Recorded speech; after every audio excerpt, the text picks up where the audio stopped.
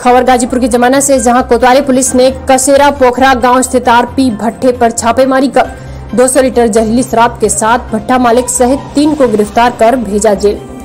कोतवाल राजीव सिंह ने बताया कि पुलिस अधीक्षक के निर्देश पर अवैध शराब निर्माण, बिक्री व तस्करी के खिलाफ चलाए गए अभियान के क्रम में पुलिस टीम के साथ भ्रमणशील थी। तभी मुखबिर से सूचना मिली कि कसीरा पोखरा गाँव स्थित आरपी ईंट भट्टा पर जहरीली शराब बनाया जा रही है।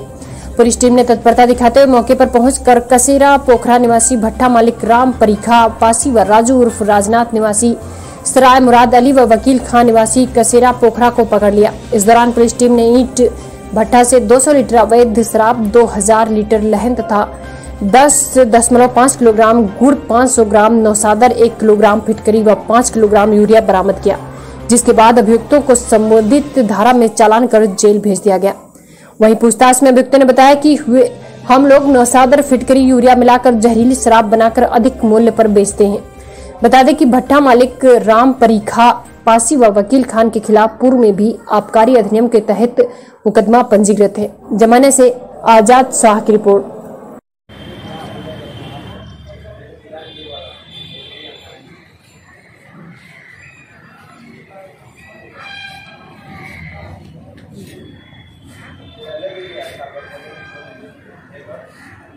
可以。